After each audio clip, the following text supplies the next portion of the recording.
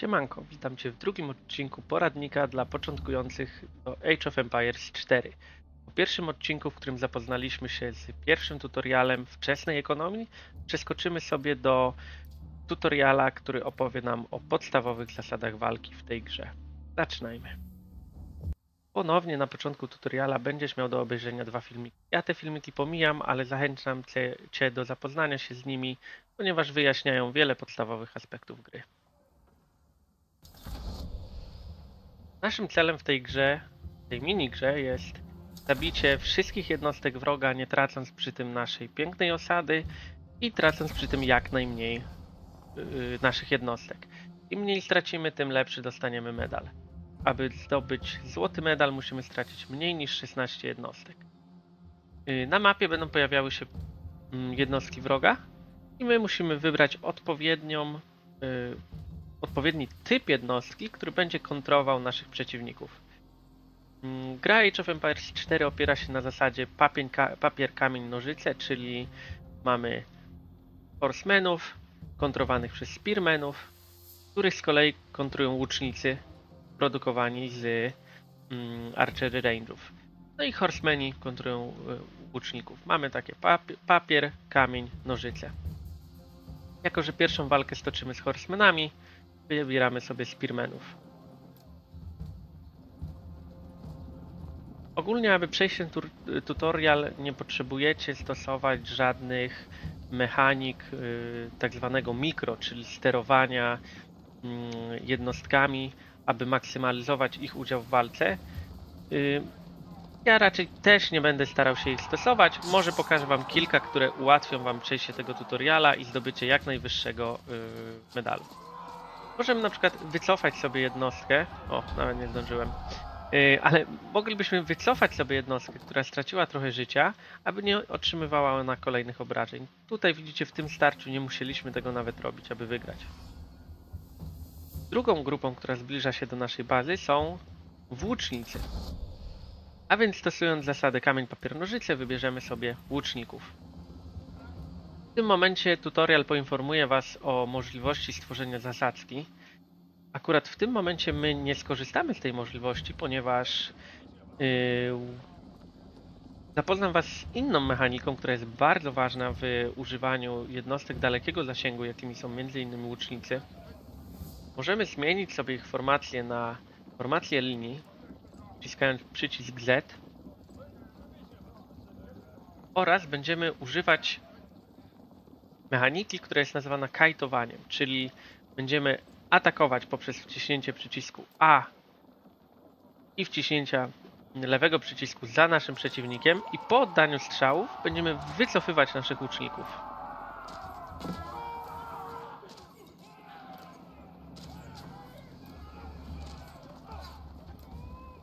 W ten sposób minimalizujemy czas, kiedy y, łucznicy przeciwnika mogą atakować nasze jednostki.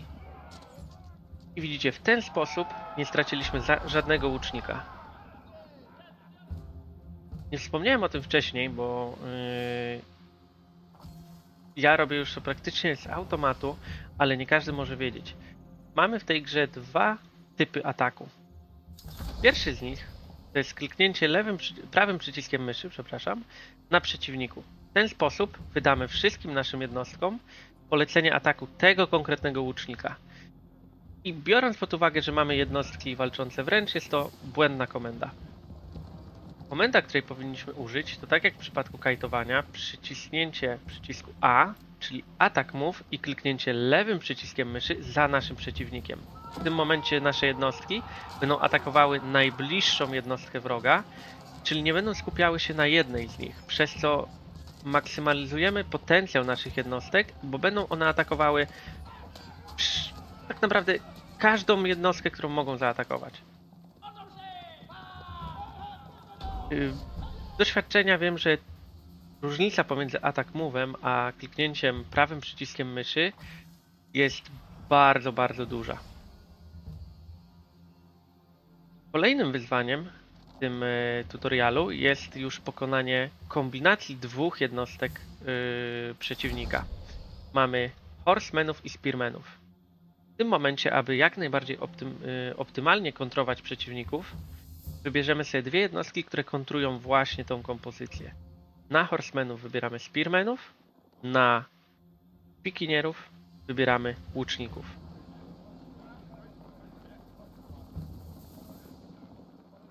W tym momencie ja użyję grup kontrolnych. Jeśli nie mieliście jeszcze do czynienia z grupami kontrolnymi, to nie martwcie się, można to zrobić bez grup kontrolnych. Y, Ja zrobię też tutorial o grupach kontrolnych i ogólnie o skrótach klawiszowych, więc nie martwcie się, będzie to też gdzieś y, opisane w późniejszych etapach tego y, podręcznika. Na razie po prostu skupcie się na tym, żeby używać aimove'a i mm, po prostu dobrze wybierać walki.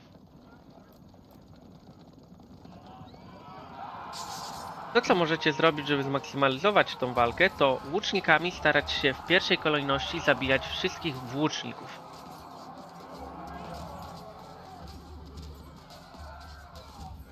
Czyli po prostu klikamy po kolei jednostki włóczników, aby efektywnie je zabijać.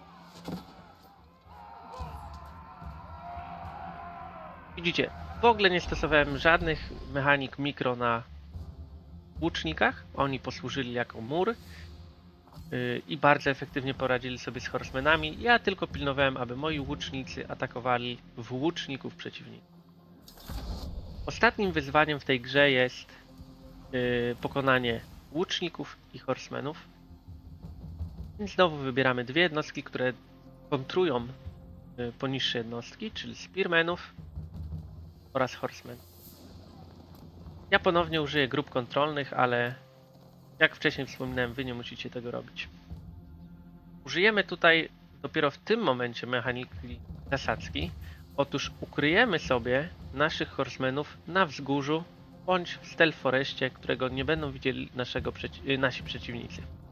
Z kolei spearmenów zostawimy w naszej bazie.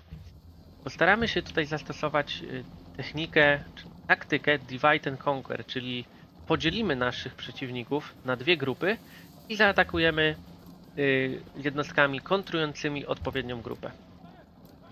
Czyli znowu wykorzystujemy aimów na naszych spearmenach i na naszych horsemenach. Jak widzicie, mamy tutaj teraz przewagę, ponieważ nasi horsemeni atakują jednostkę, którą kontrują i nasi spearmeni atakują jednostkę, którą kontrują. Później mogą po roz, yy, rozprawieniu się z jedną z grup pomóc w walce. I to koniec. Udało nam się y, poko pokonać ten tutorial, tracąc tylko 8 jednostek, więc zasłużyliśmy na złoty medal.